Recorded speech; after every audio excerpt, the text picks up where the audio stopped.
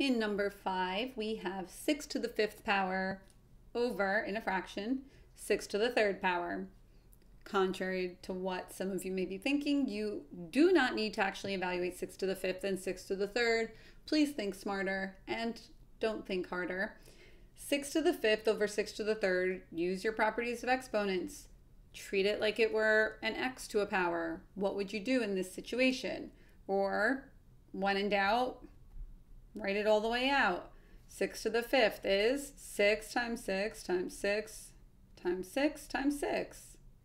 Right? 1, 2, 3, 4, 5. Okay, good. Over or divided by 6 times 6 times 6.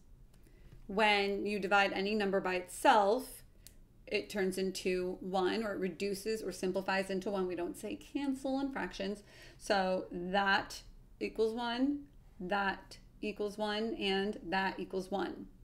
So if this is what happens in your thought bubble above your brain, then some of you may have written down 6 to the second power. And while that's fine, I would prefer in an example, especially like this one, where 6 to the second power is not an unreasonable request to have you fully evaluate. I would rather you write 36 I hope that you didn't waste your time figuring out 6 to the fifth power.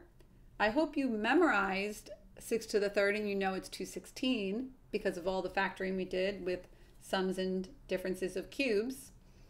And that's all there is to it. So 36 would be the best answer for that. 6 to the seconds is okay, but 6 uh, 36 would be best.